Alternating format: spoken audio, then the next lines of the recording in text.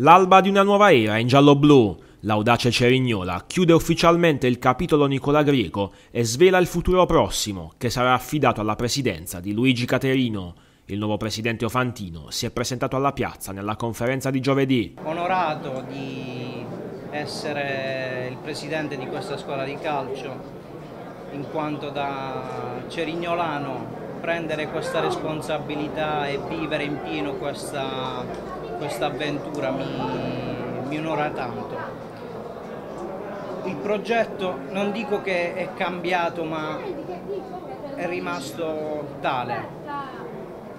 Stiamo un attimino rivalutando tutti, tutti gli ingredienti. È ovvio che tutti vogliamo vincere, quello che posso garantire è che faremo una stagione degna. Un ruolo importante anche quello rivestito da Rosario Marino, avvocato, dirigente e collante tra vecchia e nuova proprietà.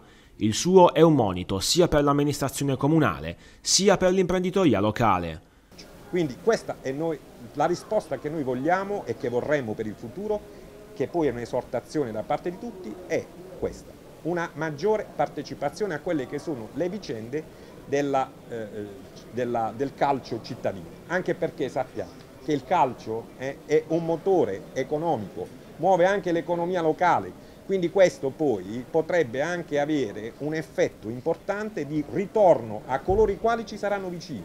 Protagonista atteso però è anche lo stesso Nicola Greco, che rimarrà in orbita societaria con il suo contributo, ma lascerà le redini a Caterino, dopo una gestione in cui è rimasto deluso dalla risposta del pubblico al Monterisi. Quello che io chiedo oggi, ci tenete veramente alla città, al calcio? Venite allo stadio, perché pure la società nuova, se inizia a vedere che la gente, vengono questi 300-400 spettatori, non ne vale la pena perché puoi fare degli investimenti importanti negli ultimi tre anni e non vincere per tre anni, investire sulla squadra, ma soprattutto non vedere lo stadio pieno ci fa molto male.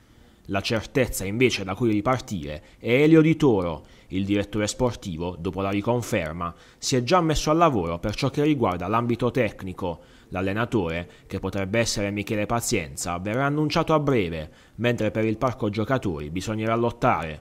Si prospetta un'estate calda in casa Audace annunceremo chi sarà la guida tecnica del Cerignola per la prossima stagione. E per quanto riguarda i calciatori che erano in eh, squadra fino a qualche tempo fa penso che sia molto difficile che resterà il blocco di quella squadra